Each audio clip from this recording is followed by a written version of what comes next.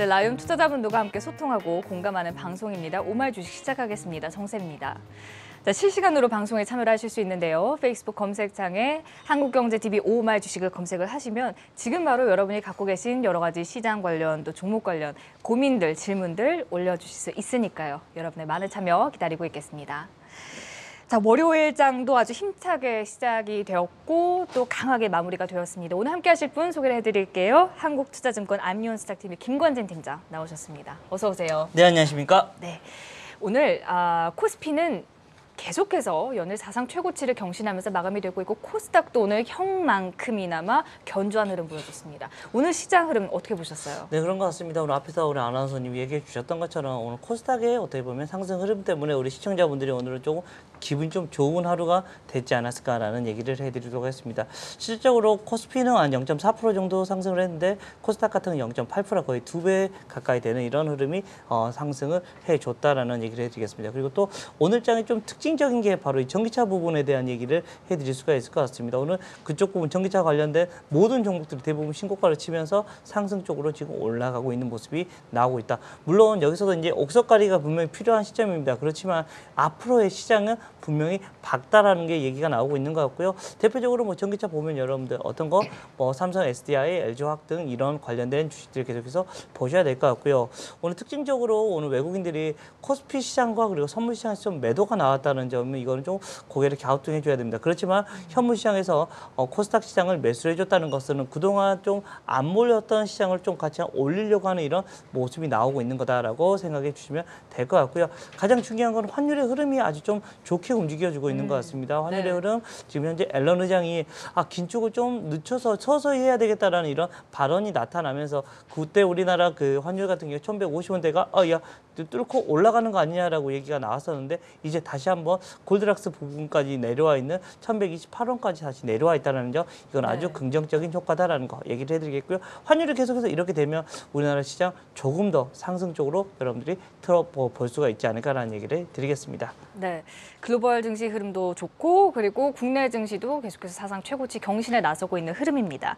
아, 이러한 시장 흐름을 바탕으로 그렇다면 라이온 투자자분들께는 어떻게 투자 조언 해주실 수 있을까요? 자 우선은 조금 최근 들어서 여러분들 아시다시피 가는 종목들 있지 않습니까? 오늘은 조금 뭐 삼성전자와 SK 하이닉스가 좀 쉬었습니다. 어떻게 보면 얘들이 대장이고요. 얘들이 완전히 꺾이기 시작하면 시장이 꺾일 가능성이 생겨버리는 겁니다. 그래서 오늘같이 조금 쉬는 날은 이런 애들이 이쪽으로 여러분들이 좀 편입 비중을 좀 늘려놔도 되지 않았을까라는 얘기. 즉 가는 종목들이 계속해서 순환매가 되고 있습니다. 즉 어느 한 날은 뭐 IT, 어느 한 날은 오일 LED, 반도체 이런 식의 IT 군들이 가고 그 다음으로 가야 될 거 뭐 은행 애들이 쭉 뭐 가고 있는 것 같고 은행에서도 오늘은 뭐 은행주, 오늘은 보험주, 오늘은 뭐 이렇게 증권 이런 식으로 돌아가는 모습이 계속해서 나옵니다. 전반적인 모습은 계속해서 우상향인데 툭툭 튀어주는 모습이 계속해서 상승에 어떻게 보면 순환매가 계속해서 일어나고 있다라고 판단해 주시면 될 것 같고요. 어떻게 보면 여러분들 포트폴리오를 짤 때 이번에 딱 답이 나와 있는 것 같습니다. IT 그리고 어, 은행주 그리고 뭐 산업재 라인들 이런 세 가지를 계속해서 돌려가면서 여러분들이 포트에 넣어놓으시면 계속해서 시장보다 좀 더 나은 수익률을 가지셔야 된다. 그런데 그런 종목이 아닌 다 여타 다른 종목을 가지고 계신다면 계속해서 시장에 좀 반대되는 좀 소외되는 이런 느낌이 계속해서 들 수밖에 없지 않을까라는 얘기를 드리겠습니다. 네. 자 이렇게 해서 투자 조언까지 함께 들어보았고요. 방금 전에 중국 증시가 마감이 되었는데 오늘장 상당히 좀 급락하는 장세가 연출이 되었습니다. 보시다시피 상해 종합 지수는 1.43% 하락하면서 45포인트가 밀렸고요. 3,200선 아래 3,176.46포인트 closing bell을 올렸고요. 선전 증시는 어, 더 큰 낙폭을 기록했습니다. 거의 3.5% 넘는 하락폭을 기록을 하면서 370포인트가 넘게 밀렸고요. 1,055.8포인트의 closing bell을 올렸습니다. 자 이렇게 해서 중국 증시 흐름 함께 살펴보았고요. 오늘 공감 토크 어떠한 주제로 이야기 나눠볼지 화면으로 주제 확인해 보겠습니다. 오늘 공감 토크 주제는요. 유통주 최저임금 인상 영향은입니다. 자, 주말에 발표가 되었습니다.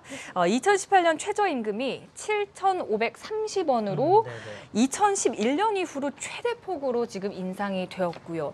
어, 올해보다 한 16%나 인상이 된 것으로 확인이 되고 있는데 이러면서 오늘 편의점주 BGF 리테일, GS 리테일 굉장히 큰 낙폭을 기록했고 여기에 더불어서 유통주 전반으로도 지금 약세 흐름이 나타났는데 지금 이러한 현상 주식을 보유하고 계신 이러한 관련 주식을 보유하고 계신 분들께서는 상당히 좀 오늘 많이 걱정을 하셨을 텐데 좀 어떻게 판단을 해야 될까요? 우선은 지금 조금 고민이 네. 많이 들었었습니다. 근데 저는 우선은 이- 지금 이하로는 그렇게 많이 빠질 건 없을 거다라는 이런 좀 긍정적인 코멘트를 해드리고 싶다라는 얘기를 해드리겠습니다.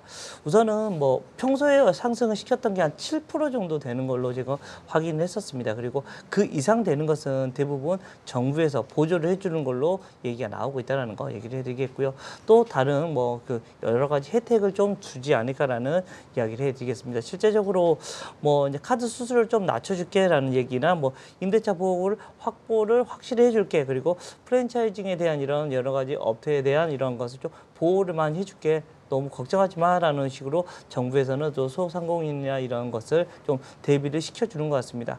그렇지만 어찌됐든 어, 우리가 일반적으로 봤을 때는 무조건 악재인 것은 맞습니다. 어쩔 수 없이 우리가 대형 슈퍼나 이런 것은 마트나 이런 것은 상승률이 성장률이 한 2% 정도밖에 되지 않습니다. 그렇지만 거기에 차지하는 비중에서 인건비가 차지하는 비중이 거의 8% 이상이 된다는 점에서 아 상당히 큰 이런 좀 어, 부담이 될 수밖에 없는 모양이었다라는 것. 그것 때문에 오늘 좀 대부분의 종목들이 좀 유통 관련주들이 많이 하락을 했었던 게 어쩔 수 없다. 그렇지만 조금 네. 이제 오늘까지 하락을 했으면 지금 현재 어, 비중을 보면 아 실제적인 실적에 대한 이런 모습을 보면 그렇게 많이 빠질 건 이제는 없을 것 같다라는 거 얘기를 해드리겠고요.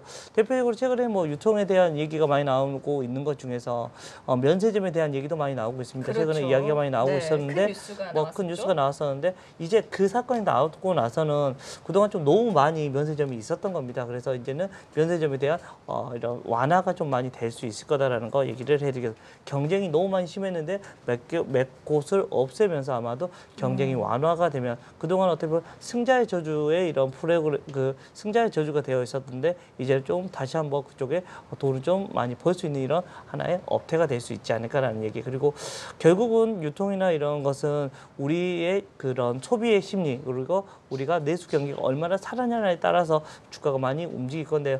네. 하반기로 갈수록 조금 조금씩 살아날 수 있을 것 같다라는 이런 얘기가 많이 나오고 있다. 그러니까 즉 소비 심리 네. 지수가 네, 좀더 좋아지고 상향 조정될 네. 수 있다는 될 전망이 수 지금 있- 나오고 네, 있다는 그렇죠. 말씀이시죠? 네. 이런 모습이 나오면서 네. 주가에는 좀 다시 긍정적인 모습이 나는데 어떻게 보면 악재가 다 나온 겁니다. 어떻게 보면 이제는 뭐 임금은 어쩔 수 없이 2020년까지 조금씩 조금씩 조금씩 좀 상승을 시킬 수밖에 없는 것 같고요. 음. 이것은 지금 현재 이번 새로운 정부의 어떻게 보면 시책이다라는 거. 정부의 시책이 이렇게 되면 거기에 맞춰가야 된다라는 거. 그리고 결국은 경기가 좋아지면 됩니다.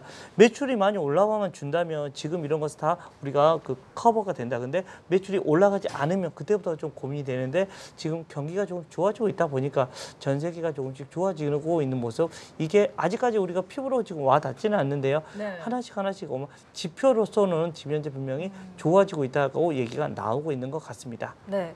아, 그런데 이제 문제는 편의점 관련주라던가 유통주들의 이제 일단 2분기 실적은 지금 좀 네네. 어떻게 나올 것으로 자? 우선은 뭐 유통주 같은 경우 앞- 앞에서 얘기했던 그 편의점 같은 경우는 사실은 조금 안 좋게 나올 것 같습니다. 실제적으로 컨센서스보다 살짝 하회하는 정도의 음. 수준이 나오지 않을까라는 거 얘기를 해드리겠고 오늘 가장 많이 빠졌던 뭐 GS 리테일 같은 경우가 아, 조금 뭐 예상치보다는 조금 하회한다라는 이야기가 음. 나오고 있고요. 700개 700억이 좀 넘게 나오는 정도밖에 안 나오는 것 같습니다. 700억대 한 중반 정도가 나올 거라고 지금 시장 컨센서스는 되어 있었는데 700억대 한 중반 정도에 대한 이야기가 나오고 있다라는 거 얘기를 해드립니다. 네. 1분기 때부터는 물론 많이 올라오고 3분기가 4분기까지 조금씩 좋아지는 모습이 분명히 나오긴 할 건데 그런 거 실적을 따져보면 지금 현재 편의점주 사실은 음식료가 거의 20배 가까이는 받아야 되는 겁니다. 근데 어, GS 같은 경우는 지금 한 13배 그 정도까지 음. 내려와 버렸습니다. 그리고 어, 편의점 같은 경우 주식 같은 경우가 가장 좋은 게 뭐냐면 우리가 1인 가구가 계속 늘어나고 있다는 점 그리고 우리 그 이거 일본의 선례로 따라 보면 우리가 실제적으로 잃어버린 20년을 얘기를 많이 하는데 네. 거기에 거기에서도 계속해서 성장했던 게 바로 이 편의점 주식이다라는 거. 그리고 편의점 주식들이 가장 지- 지금까지 성장했던 게 뭐였냐면 신규 점포가 계속해서 올라오는 거였습니다. 근데 이러한 얘기 때문에 조금 점주들이나 이렇게 조금 그 창업을 안 하는 거 이런 얘기 때문에 조금 오늘 좀 낙폭이 좀 크지 않았을까. 그렇지만 실적을 따지고 보면 그렇게 많이 이렇게까지 빠져야 되나라는 이런 고민을 해 본다라는 거. 물론 네. 지금 당장 신규 진입은 조금 어, 천천히 하셔야 됩니다. 왜냐하면 아. 다시 반등이 나올 때 그때 하셔야 된다. 주식이 시장이 옆으로 좀 횡보해주거나 좀 체력이 조금 어, 받아지면 그때 매수를 하셔야 된다라는 거 얘기를 해드리겠고요. 네.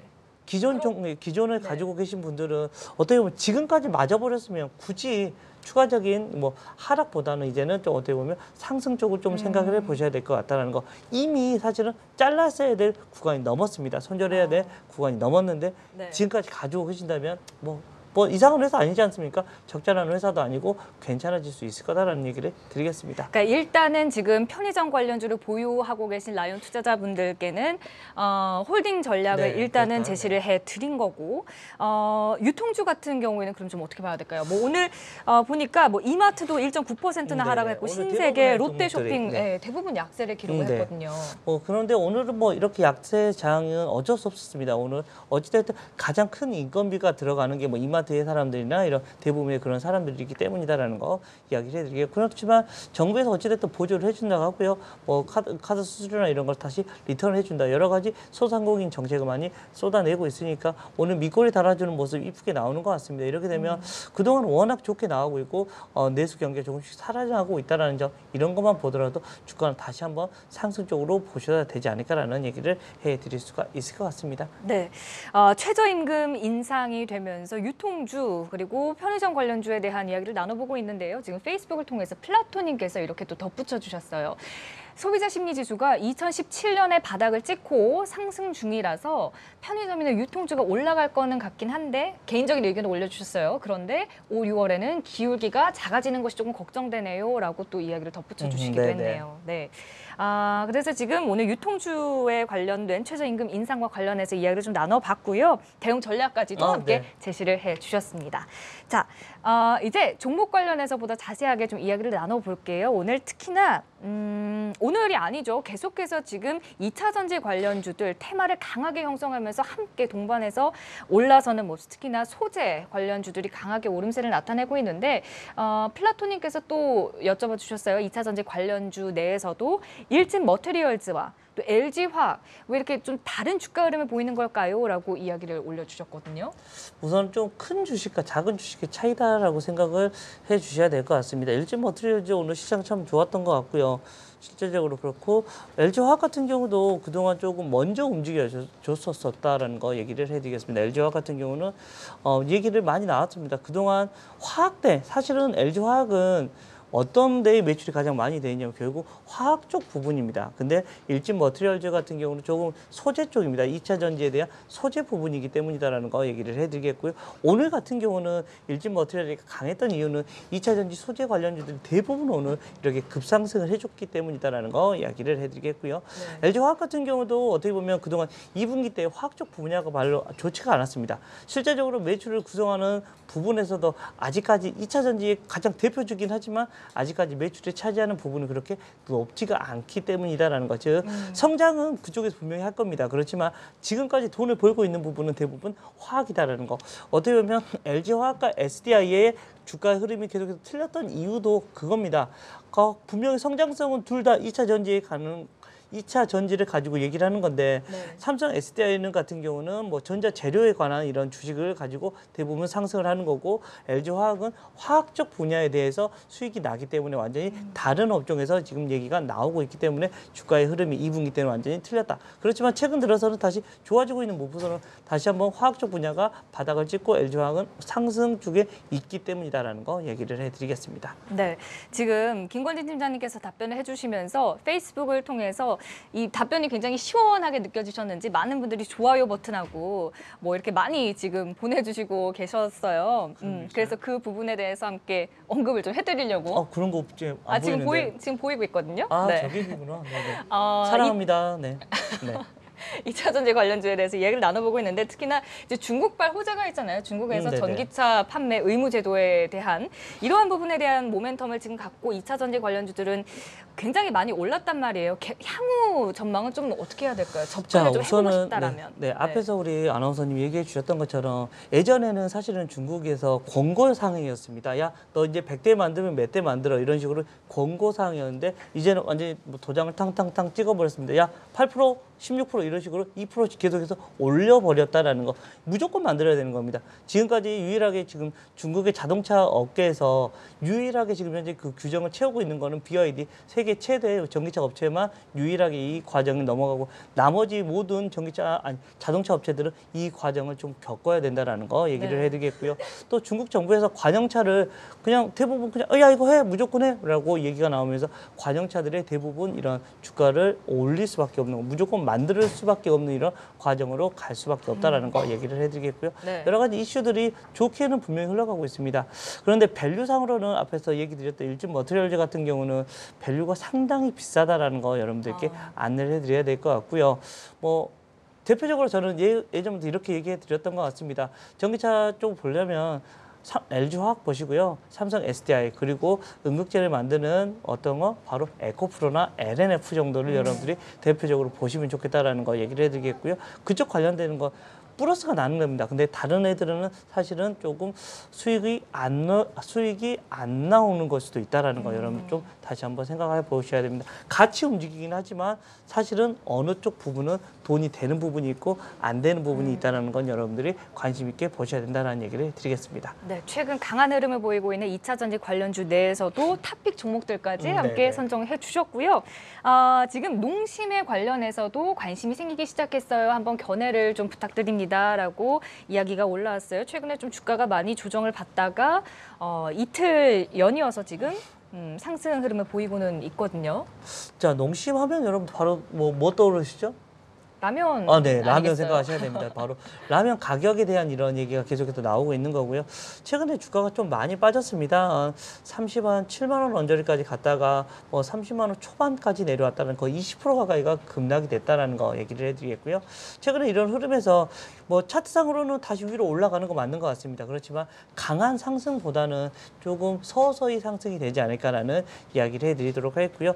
최근 들어서 뭐 기관들이 계속해서 매도가 나왔었던 게 사실입니다. 그렇지만 이제 조금씩 다시 기관들이 매수가 나오면서 조금 흐름이 좋아지기는 한다라는 얘기를 해드리겠습니다. 그렇지만 강한 상승보다는 서서히 그냥 상승이 되는 이런 정도의 수준이 되지 않을까라는 거 얘기를 해드리겠고요. 네. 최근에 결국은 중국 같은 경우에 이제 소비 심리나 이런 게 좀 좀 많이 풀려야 될 것 같습니다. 아직까지 조금 야 이거 아니야라고 이런 얘기가 좀 많이 나오면서라는 얘기를 해드리겠고요. 신라면의 흐름들 그리고 라면을 어떻게 보면 그 동안은 농심이 압도적인 1위를 계속해서 해줬었는데 2등, 3등에 이렇게 그렇게 큰 차이가 격차가 안 나고 있는 것은 조금 고민이 드는 모양이다라는 얘기를 해드리도록 하겠습니다. 네.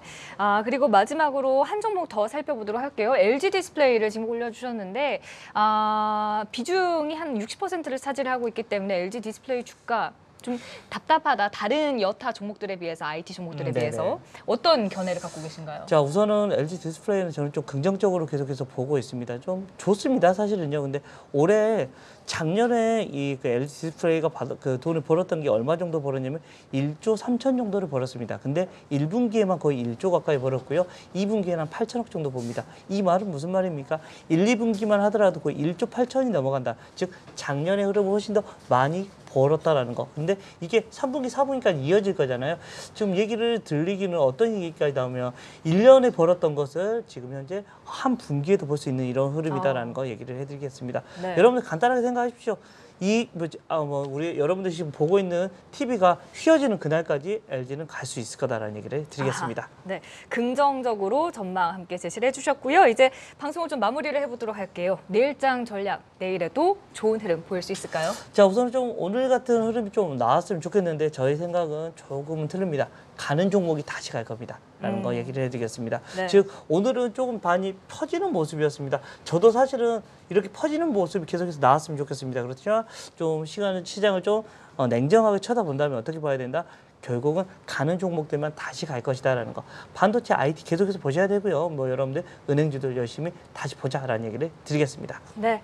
자, 이렇게 해서 내일장 전략까지 아, 한국투자증권 압력수사팀의 김권진 팀장과 세워보았습니다. 오늘 말씀 고맙습니다. 네, 감사합니다. 네, 바로 이어서 증시 캘린더도 함께 확인을 해볼까요? 오늘 아, 유로존 소비자 물가지수가 잠시 후 6시에 발표가 되고요. 뉴욕 엠파이어 스테이트 제조업 지수 발표된다는 점 참고를 해보시고 그리고 2분기 실적들이 이제 이번 주부터 본격적으로 발표가 되고 있죠.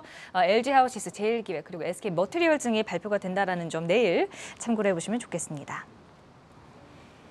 네, 그리고 내일 이 시간에는 키움증권의 김성훈 전문가와 함께하고요. 계속해서 페이스북을 통해서 종목 상담 이어가도록 하겠습니다. 시청해주신 여러분 고맙습니다.